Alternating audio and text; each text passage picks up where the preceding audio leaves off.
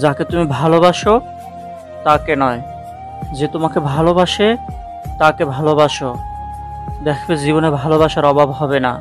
কাউকে খুব হাসি খুশি দেখলে চটকারি কোনো খোসা মেরে কথা বলবেন না। এমনও হতে পারে। এই হাসিটুকুর জন্য সে অনেক দিন ধরেই অপেক্ষা করছে। পারলে তার হাসিতে আপনি কিছু যোগ করুন। ধাক্কা দিয়ে ফেলে দেওয়ার মতো মানুষের অভাব নেই। কিন্তু পরে যাওয়া মানুষের হাতটি ধরে টেনে তোলার মতো মানুষের বড় অভাব। ভিক্ষা দিতে না পারো, খারাপ ব্যবহার করো না। সাহায্য করতে না পারো, নিরাশ করো না। উপকার করতে না পারো, ক্ষতি করো না। ভালোবাসতে না পারো, ঘৃণা করো না। মন বোঝার মতো কেউ নেই, অথচ ভুল বোঝার লোকের অভাব নেই। গুরুত্ব আর অপেক্ষা দুটোই দূরে না গেলে বোঝানো যায় না। কাছে থাকলে দামি জিনিসও সস্তা মনে হয়। হাসতে নিজে শেখো কাঁদতে পুরো দুনিয়া শিখিয়ে দেবে।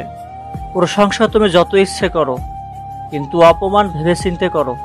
কারণ অপমান হলো সেই ঋণ যা সুযোগ পেলে সবাই সুদ সমেত ফেরত দেয়।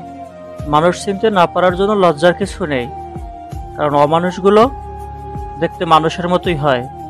আমরা কারও কাছে ভালো, আবার কারও কাছে খারাপ। আসল সত্যটা কি জানো? যার মানসিকতা যেমন, তার কাছে আমরা তেমন। কিছু কিছু সময় মুখ বন্ধ রেখে মাথা নত করে নিতে হয়।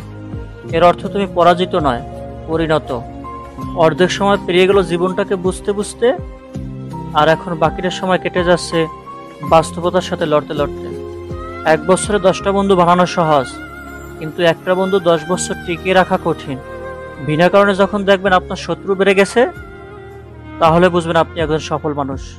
ব্যর্থতায় নয়, মানুষ হিংসা করে সফলতায়। আপনি আগ্রহ না দেখালে যে মানুষটা নিজ থেকে কখনো আপনার কথা চিন্তাও করে না, সেই মানুষটা আপনার না। তাকে অযথা বিরক্ত করা বাদ দেন। সে ভালো থাকুক আর আপনিও একা থাকার অভ্যাস করে ফেলেন। পুলিশ ঘুষ খায়। আমি ব্যবসায়ী। আমি ঘুষ খাই না। আমি পাঁচ টাকার মাস্ক একশো টাকায় বিক্রি করি। আমি শিক্ষক। আমি ঘুষ খাই না। আমার নিকট যে সকল ছাত্রছাত্রী প্রাইভেট পড়বে, আমি তাকে পরীক্ষায় পাশ করে দিই। আমি ডাক্তার, আমি ঘুষ খাই না। আমি একজন মাকে নর্মাল ডেলিভারি না করে ভয় দেখিয়ে বেশি টাকার জন্য সিজারের পরামর্শ দেই। আমি উকিল, আমি ঘুষ খাই না। আমি টাকার জন্য একজন ধর্ষকের পক্ষে উকলাতি করি। আমি সাধারণ জনগণ, আমি ঘুষ খাই না। আমি কিছু টাকার জন্য নিজের মূল্যবান ভোটটা একজন নেতার কাছে বিক্রি করে দেই। মেয়েরা মা হওয়ার পর তার বক্তব্য এরকম হয়, মা হওয়ার পর শিখেছি কীভাবে এক ঘণ্টার স্নান পাঁচ মিনিটে করতে হয়? মা হওয়ার পর শিখেছি। কীভাবে রাতের পর রাত না ঘুমিয়ে কাটিয়ে দিতে হয়?